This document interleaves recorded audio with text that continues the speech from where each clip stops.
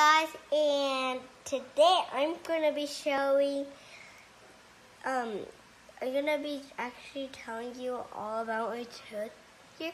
It just came out like today, so it was like super wiggly. It was bleeding, and then I went to the bathroom and I saw there was just one piece stuck on on my gr- gum. And then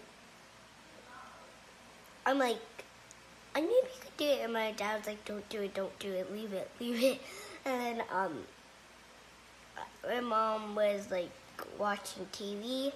And then I came right out of the bathroom because she says, I hope you ha- do it.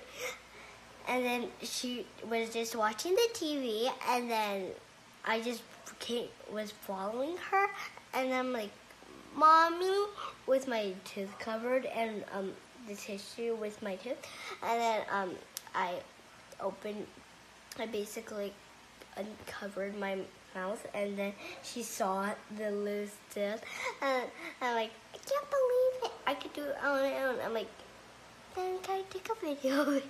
so I did, and.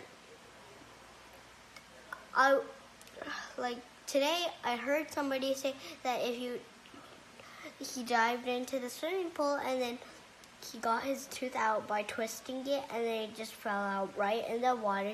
He grabbed it and came out and basically I just twisted it a little, but then it couldn't be twisted. So then all I did was like pull it so hard that the tooth almost fell on the ground.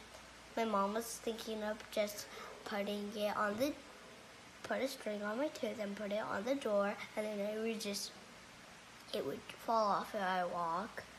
So that's how I did it and next time I think I might do that same thing or maybe I'll take a video of me pulling my tooth out. So so and uh, just enjoy with watching all of the other videos on YouTube. And don't forget to give me a thumbs up.